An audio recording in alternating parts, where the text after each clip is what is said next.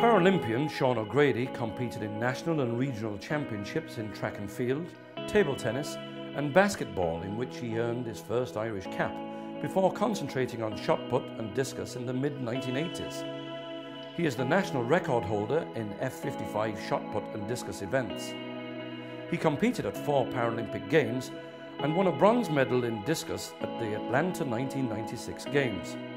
He also won medals at the 1994, two silver, and 1998, two bronze World Athletic Championships.